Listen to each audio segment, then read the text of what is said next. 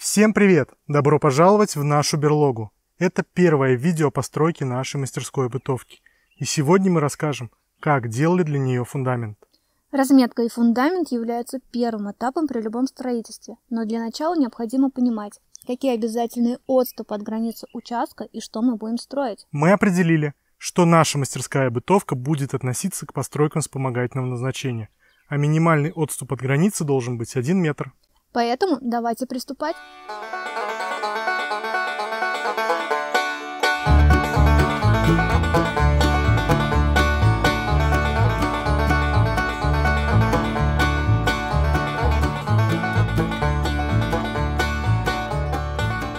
Все начинается с внешней разметки свайного поля.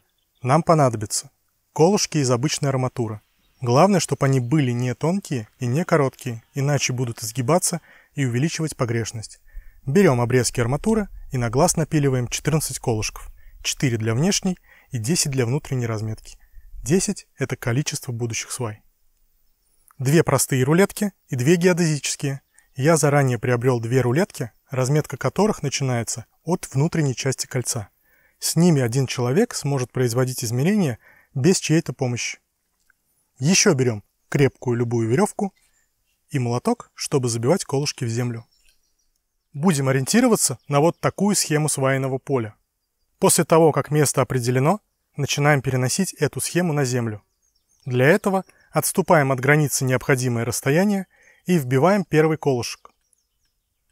Затем от него параллельно границе отступаем длину согласно нашему проекту и вбиваем второй. Остается поставить еще два колышка и получить замкнутый прямоугольник. Зная диагональ и ширину, это сделать очень просто. Цепляем на первый и на второй колышки рулетки, на одной ловим диагональ, а на второй ширину и вбиваем третий колышек на пересечении двух рулеток. Аналогично делаем и с противоположной стороны.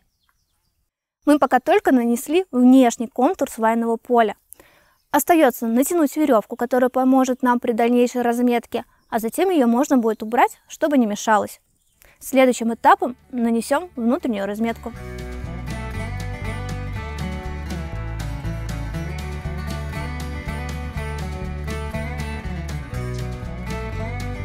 Ты вообще оборзел, ну ты серьезно? Иди отсюда, я тебя не буду больше кормить. Вот так выглядит вторая схема свайного поля. В отличие от первой, на ней указаны размеры между центрами свай. Для того, чтобы упростить задачу при бурении, не вымерять никакие квадраты, не натягивать кучу дополнительных веревок, как это многие делают, мы центр каждой будущей сваи отметим внутри получившейся разметки. Стоит учесть, что у нас шнек диаметром 25 см, поэтому размеры на схеме указаны именно под него. Если вы используете другой шнек, то учтите этот момент. С внутренней разметкой все максимально просто. В любом углу отмеряем от натянутых веревок по 12,5 см. И на пересечении двух рулеток вбиваем колышек. С противоположной стороны делаем то же самое. 12,5 см – это радиус будущего отверстия шнека. Все последующие центры свай мы будем отмерять от предыдущих, чтобы минимизировать погрешность. Цепляем геодезическую рулетку на колышек, отмеряем необходимое расстояние, например, 190 см, как это показано на видео, и от натянутой веревки отступаем 12,5 см. И так со всеми колышками.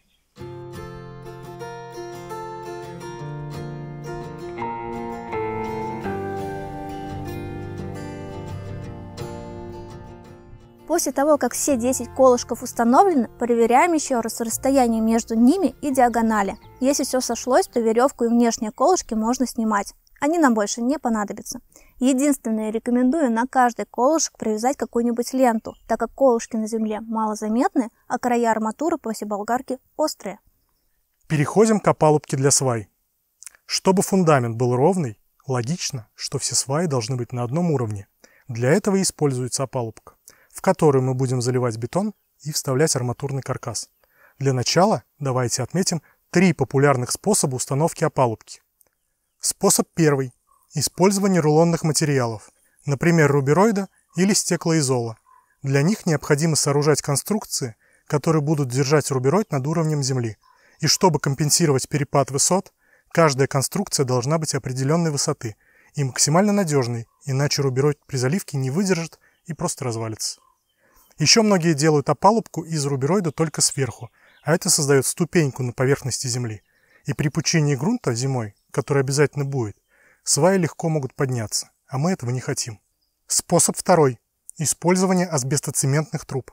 Способ в целом рабочий, но в составе этих труб есть асбест, поэтому нам не хотелось бы его использовать у себя на участке. А вес трубы диаметром 20 см будет примерно 30-40 кг. Да и пилить и дышать вредной пылью желания не было. Способ третий. Использование канализационных труб. Удобный рабочий способ, но стоимость одной трубы длиной 2 метра и диаметром 20 см на момент съемки видео составляет 2800 рублей, а таких труб нам нужно 10.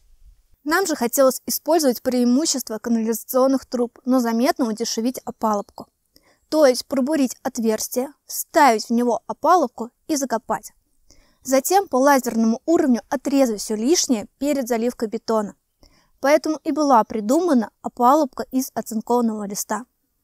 Давайте приступим. Для начала берем оцинкованный лист размером 2 на метр 25 и толщиной 0,35 мм.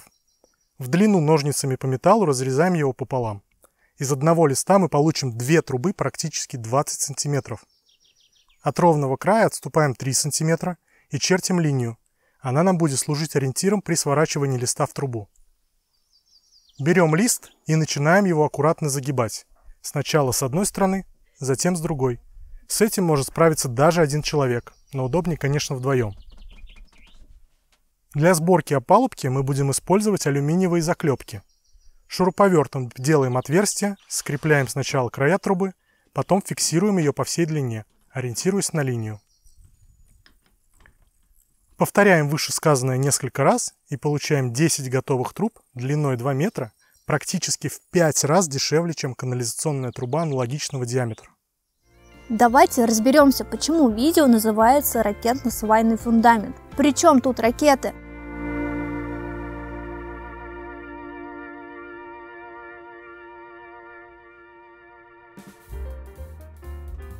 Диаметр трубы составляет почти 20 сантиметров, а за счет юбки расширения пятно контакта увеличивается до 25, а значит и несущая способность каждой сваи, по аналогии со сваями Тиссе.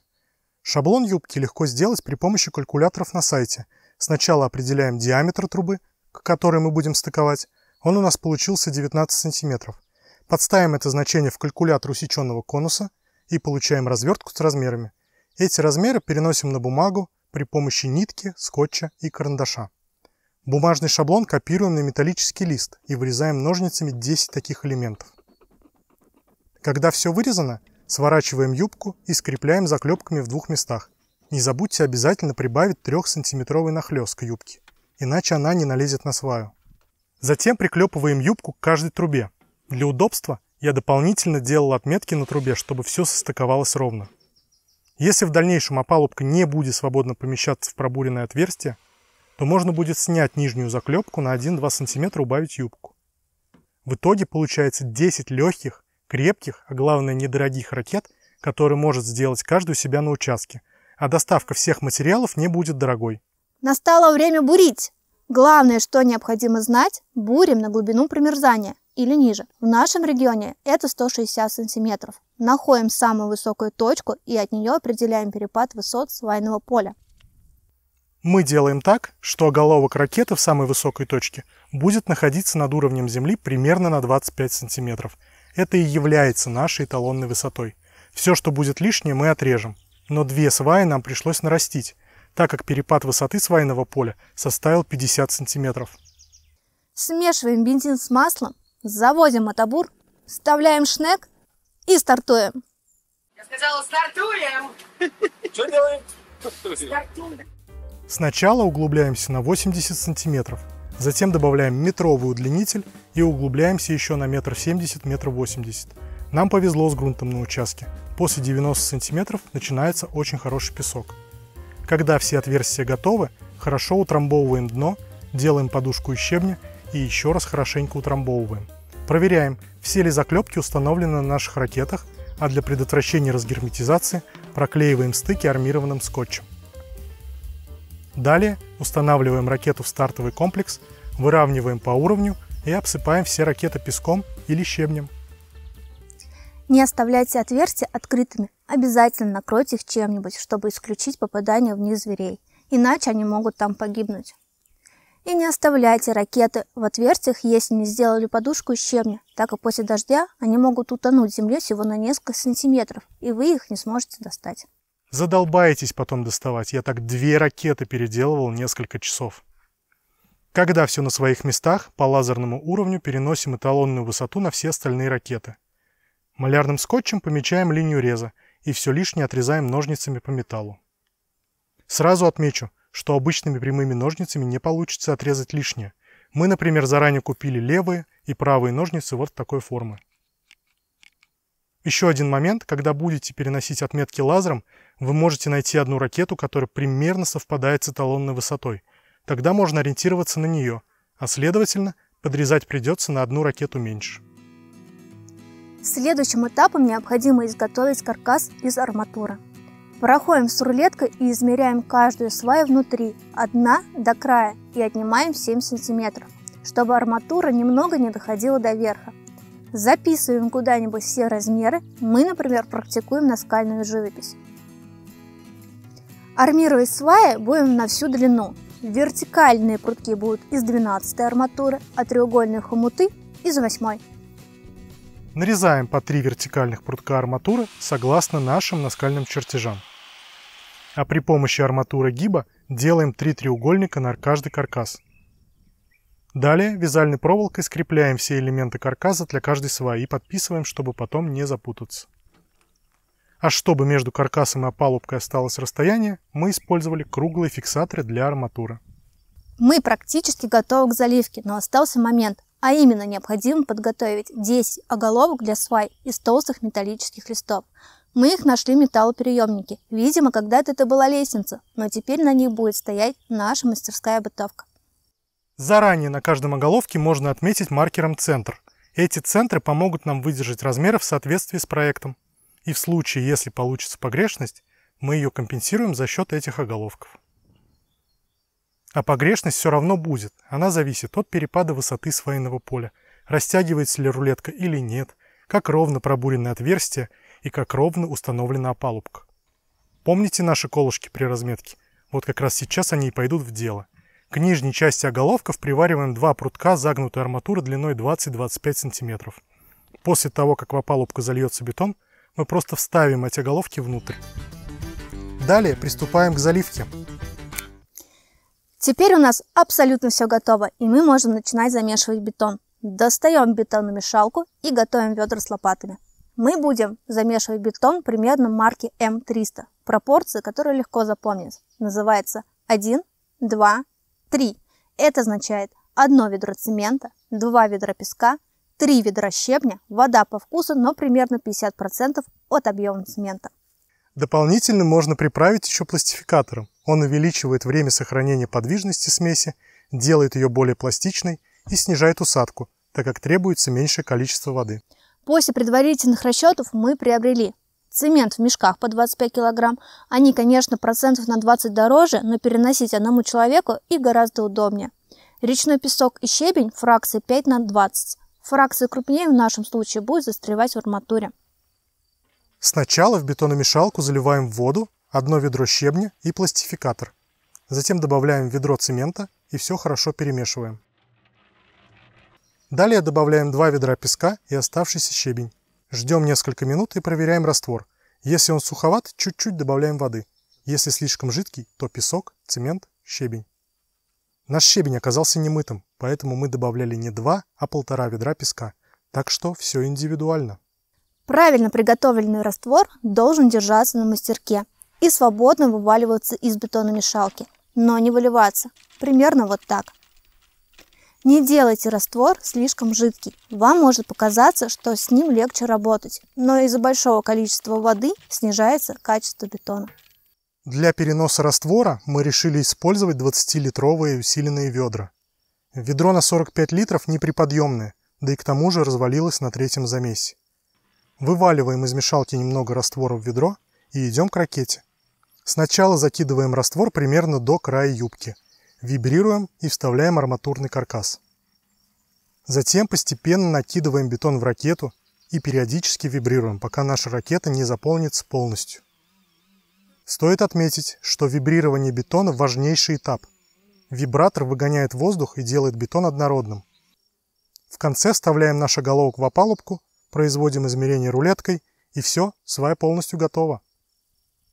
То же самое делаем со всеми сваями и оставляем на пару недель для набора прочности. Давайте подытожим наконец-то. Общая смета на свае выглядит вот так. Стоимость одной сваи ракеты в нашем случае составляет примерно 2300 рублей. Но ее можно легко снизить за счет меньшей марки бетона, меньшего сечения арматуры, а также меньшего заглубления. Можно, кстати, не делать юбку, но тогда уменьшится пятно контакта, и ракетами их уже назвать будет нельзя. Наконец-то мы залили крепкий фундамент для нашей будущей мастерской бытовки. Остается только прибраться, разровнять свайное поле под бытовкой, застелить геотекстиль и присыпать щебнем. Мы пока не успели этого сделать, но результат вы увидите в нашем телеграм-канале.